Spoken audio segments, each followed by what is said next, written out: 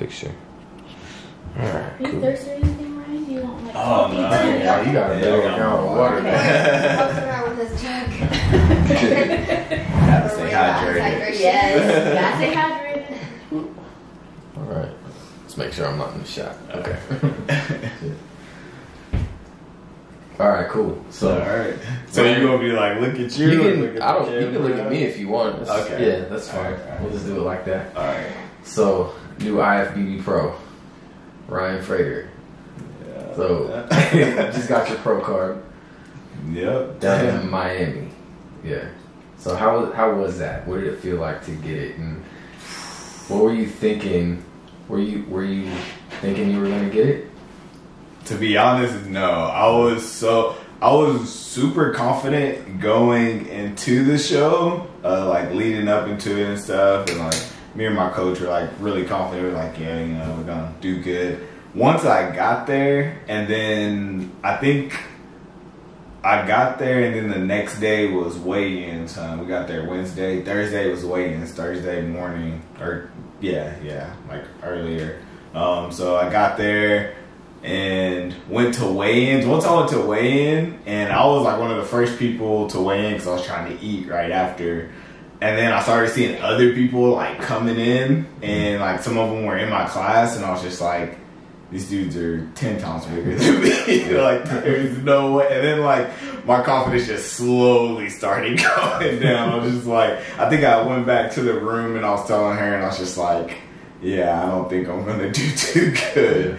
And then um, afterwards, once we uh, the next day when it was actually like showtime, uh, prejudging, and we were like all like pumping up and warm up and stuff. You know, whenever you're in the warm up area, you know, pumping up, you're like checking everybody else out and stuff. So I'm like looking around, looking at all these other dudes, and I'm just like, all these dudes are like in shape. All of them are like big and I'm just like, man, I don't think I'm gonna do good at all. And then my confidence just it like went I've never been that like non confident.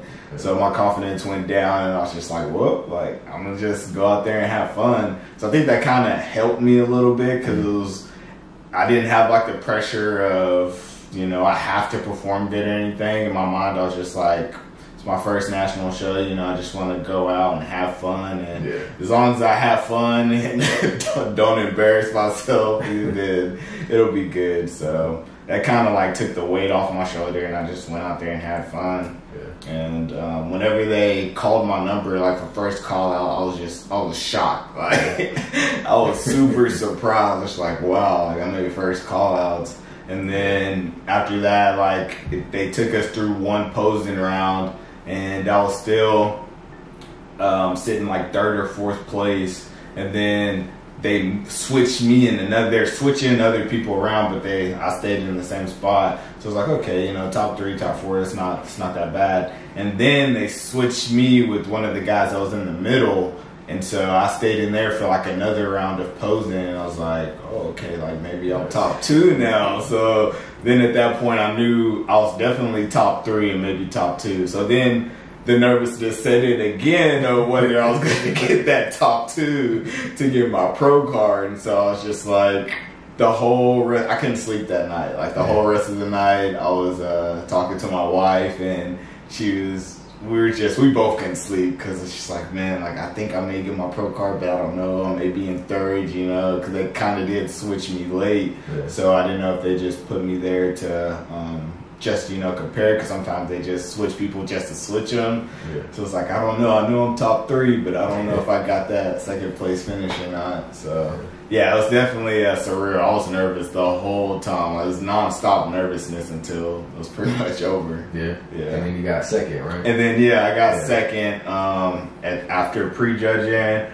Went back and of course ate and stuff. And like I said, I was just nervous the whole time. That night I didn't sleep.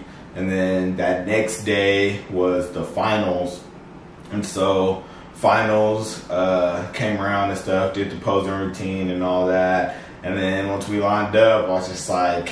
I remember before finals, I was telling her like, "Hey, whatever happens, happens. Like, I hope I get the pro card, but if I don't, you know, top three, you know, first nationals, that's that's pretty good. So it's like I'll be happy either way.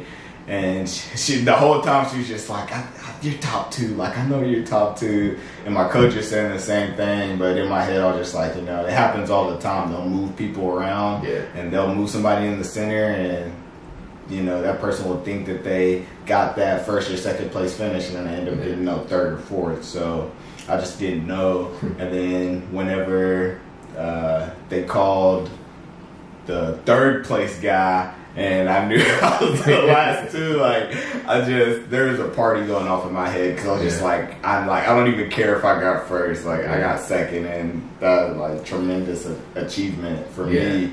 And I was just so happy. Even when they called, there's uh, I think. Uh, one of my friends took a video. Even when they called me for second, I was just like so like you would have thought I won. like I was just so happy because I had accomplished you know what I set out to do, and I was to get my pro card. Yeah. And it was just it was so surreal. Like uh, Yeah. I, that feeling, I just I cannot describe that feeling. It just felt so good. Yeah.